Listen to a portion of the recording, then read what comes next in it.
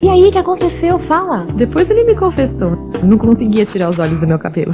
Não, você não sabe. Ele jogou o celular dele dentro do meu carro. Um fio de cabelo leva pelo menos três anos até ficar comprido. Nesse tempo, ele sofre muitas agressões. Por isso, ele da Hair Institute criou o novo seda com DNA vegetal, que restaura profundamente o cabelo comprido, devolvendo todo o seu brilho e vitalidade. Vai, conta mais.